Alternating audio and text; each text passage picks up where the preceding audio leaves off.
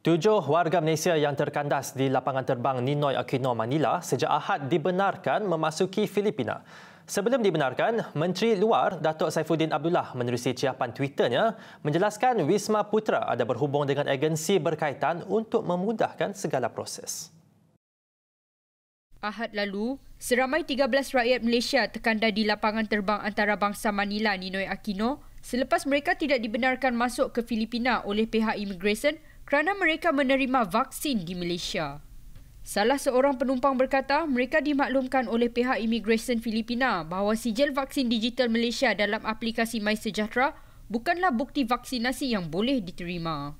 Oleh itu, pihak berkuasa Filipina tidak membenarkan kemasukan mereka selain turut merampas pasport mereka dan memberitahu mereka akan dihantar pulang ke Malaysia pada Selasa. Penumpang itu juga diberitahu oleh pihak imigresen Filipina bahawa mereka perlu sama ada telah divaksin di negara lain seperti Singapura atau mewakili sijil vaksinasi antarabangsa Pertubuhan Kesihatan Sedunia WHO. Kesemua penumpang terbabit berhasrat untuk pergi ke Filipina atas sebab perniagaan, peribadi dan kemanusiaan. Filipina membuka sepadannya kepada pelancong yang diberi vaksin sepenuhnya mulai 10 Februari lalu.